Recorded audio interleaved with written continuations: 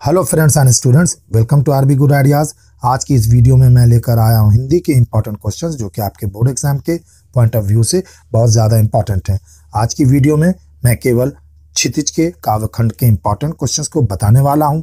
मैं काव्यखंड से most important thirty six questions बताऊँगा। तो बस आप इन सवालों को या तो स्क्रीन कर लें या फिर कॉपी में नोट डाउन कर लें।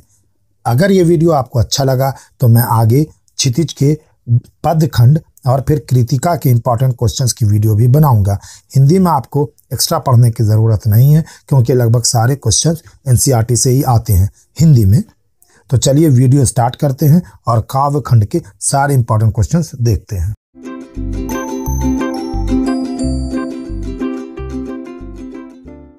काव्य खंड का पहला लेसन है पद।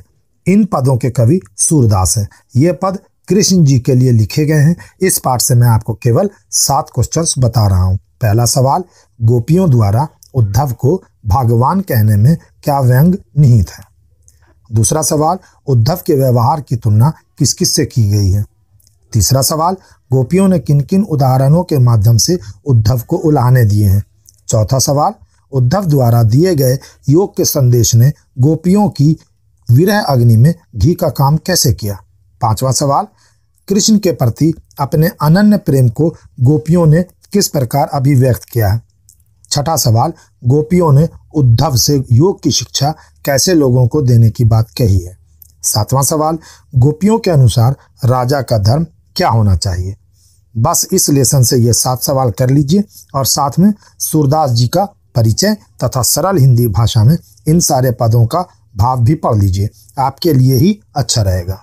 दूसरा लेसन है राम लक्ष्मण परशुराम संवाद, जिसकी रचना तुलसीदास ने की है। तुलसीदास महान कवि हैं। इस कविता में धनुष टूटने के बाद क्रोधित परशुराम और राम एवं लक्ष्मण जी के बीच होने वाले संवाद को बताया गया है।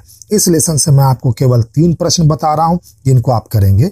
नंबर एक, परशुराम के क्रोध करने पर राम और लक्ष्मण की जो प्रतिक्रियाएँ हुई, उनके आधार पर दोनों के स्वभाव की विशेषताएँ अपने शब्दों में लिखी। नंबर दो, लक्ष्मण ने वीर योद्धा की क्या क्या विशेषताएँ बताई? और नंबर तीन, परशुराम ने अपने विषय में जो कहा, उसे अपने शब्दों में लिखिए। इन तीन प्रश्नों के अलावा आप तुलसी जी का संक्षिप्त परिचय भी पढ़ लीजिए और इस कविता का आसान भाषा में छोटा अनुवाद भी पढ़कर समझ लीजिए। अब हम चलते हैं थर्ड चैप्टर में। क्षितिज काव्य खंड का थर्ड चैप्टर है, सवैया तथा कवित्व, जिसकी रचना की है देव ने इससे भी आपको ओनली थ्री क्वेश्चंस करने हैं, जो मैं आपको यहाँ पर बता रहा हूँ। पहला क्वेश्चन कवि ने श्री बरज दुल्ह किसके लिए प्रयुक्त किया है और उन्हें संसार रूपी मंदिर का दीपक क्यों कहा? दूसरा क्वेश्चन पराते ही जगावत गुलाब चटकारी दे। इस पंक्ति का भाव स्पष्ट कीजिए। तीसरा क्वेश्चन चांदनी रात की सुंदरता को कवि ने किन किन रूपों में देखा है? इन तीन क्वेश्चंस के साथ साथ देव जी का परिचय और सिंपल लैंग्वेज में इस चैप्टर का अनुवाद भी ज़रूर समझ लीजिए। अब चौथा चैप्टर करते हैं। चौथा चैप्टर है आत्म कथ्य जिसके कवि हैं जयशंकर प्रसाद। इस चैप्टर से मैं बताऊँगा आपको केवल चार इंपॉर्टेंट क्वेश्चन फ़र्स्ट क्वेश्चन कवि आत्मकथा लिखने से क्यों बचना चाहता है? सेकंड क्वेश्चन आत्मकथा सुनाने के संदर्भ में अभी समय भी नहीं, कवि ऐसा क्यों कहना चाहता है? थर्ड क्वेश्चन है स्मृति को पाथे बनाने से कवि का क्या आशय है? फोर्थ क्वेश्चन, उज्जवल गाथा कैसे गाऊं? मधुर चांदनी रात की। कथन के माध्यम से कवि क्या कहना चाहता है? देखिए, आपको इंपॉर्टेंट क्वेश्चन तक ही नहीं रहना है। आपको एग्ज़ाम में वेरी शॉर्ट शॉर्ट सभी क्वेश्चंस को करने की कोशिश करनी है। चाहे कुछ क्वेश्चंस के आंसर आपको आते हों या ना आते हों, क्योंकि रॉन्ग आंसर्स के लिए किसी तरह की निगेटिव मार्किंग तो है ही नहीं तो आपका मार्क्स भी नहीं कटेगा। तो फिर क्वेश्चंस छोड़ने से क्या फ़ायदा? जिस क्वेश्चन का आंसर नहीं आता है उसका भी आंसर सोचकर किसी तरह अवश्य लिखिए, कोई भी क्वेश्चन मत छोड़िए। पाँचवें काव्य पाठ में निराला जी की दो कविताएँ हैं, उत्साह और अट नहीं रही है। इस लेसन से आपको बस पाँच क्वेश्चन ही करना है। पहला, कवि बादल से फुहार, रिमझिम या बरसने के स्थान पर गरजने के लिए कहता है, क्यों? दूसरा, कविता का शीर्षक, उत्साह क्यों रखा गया है? तीसरा, कविता में बादल किन किन अर्थों की ओर संकेत करता है? चौथा, कवि की आँख फागुन की सुंदरता से क्यों नहीं हट रही है? पांचवा, फागुन में ऐसा क्या होता है जो बाकी ऋतुओं से भिन्न होता है? छठे पाठ में नागार्जुन की दो कविताएँ हैं, यह दंतु मुस्कान तथा फ़सल। इस पाठ से मैं आपको पाँच सवाल बता रहा हूँ। पहला सवाल, बच्चे की दंतुरित मुस्कान का कवि के मन पर क्या प्रभाव पड़ता है? दूसरा सवाल, कवि ने बच्चे की मुस्कान के सौंदर्य को किन किन बिंबुओं के माध्यम से व्यक्त किया है?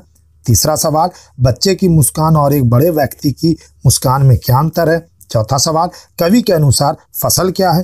पांचवा सवाल, भाव स्पष्ट कीजिए। रूपांतर है सूरज की किरणों का सिमटा हुआ संकोच है हवा की थिरकन। इस वीडियो में जितने भी सवाल हैं, वो सारे के सारे कई बार रिपीट हो चुके हैं। पिछले कुछ साल के हिंदी के बोर्ड पेपर देखिए, ये सारे सवाल आपको बार बार दिखेंगे। लेकिन मान लो कोई ऐसा सवाल आ जाए जो आपने नहीं तैयार किया हो तो क्या आप उस सवाल को यूँ ही जाने देंगे? नहीं ना, आपको हर सवाल करना है, क्योंकि निगेटिव मार्किंग का डर नहीं है। अगला चैप्टर है, छाया मत छूना, जिसके कवि हैं गिरिजा कुमार माथुर। इस चैप्टर से आपको ओनली थ्री क्वेश्चंस करने को मैं बता रहा हूँ, जो ये हैं। फ़र्स्ट क्वेश्चन कवि ने कठिन यथार्थ के पूजन की बात क्यों कही है? सेकंड क्वेश्चन छाया शब्द यहाँ किस संदर्भ में प्रयुक्त हुआ? कवि ने उसे छूने के लिए क्यों मना किया है? थर्ड क्वेश्चन कविता के आधार पर दुख के कारण बताइए।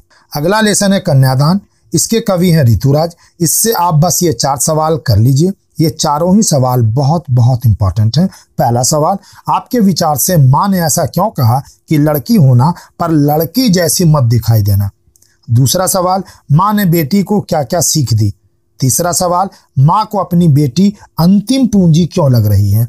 चौथा सवाल, आपकी दृष्टि में कन्या के साथ दान की बात करना कहाँ तक उचित है। आपको हर कविता के, कवि का संक्षिप्त विवरण और कविता का भावार्थ ज़रूर पढ़ना, ताकि भावार्थ वाले सवाल आप सही से कर सकें और कोई इग्नोर क्या हुआ या नया सवाल आ जाए तो आप उसे कर पाएँ। लास्ट कविता, संगतकार। इसके कवि हैं मंगलेश डबराल। इस लेसन से आपके लिए दो सवाल बहुत इंपॉर्टेंट है। पहला, मुख्य गायक को संगतकार कब कब कहाँ और किस प्रकार संभालता है? दूसरा, सफलता के चरम शिखर पर पहुँचने के दौरान यदि व्यक्ति लड़खड़ाता है, तब उसे सहयोगी किस तरह संभालते हैं? तो फ्रेंड्स, इस वीडियो में मैंने आप लोगों को ये बता दिया कि क्षितिज के काव्य खंड से कौन कौन से सवाल इंपॉर्टेंट हैं।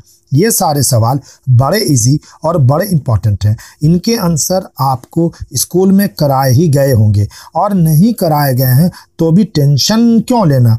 गेस्ट पेपर्स और नोट्स तो है ना, उसी से कर लीजिए, लेकिन अपने स्टाइल। आज की वीडियो में हमने काव्य खंड कर लिया। अगर आप चाहते हैं कि मैं गद्य खंड का भी वीडियो बनाऊँ प्रो सेक्शन का भी वीडियो बनाऊँ तो वीडियो को लाइक करना मत भूलिए, वीडियो को शेयर कीजिए और चैनल को सब्सक्राइब भी ज़रूर कीजिए। Thank you and good luck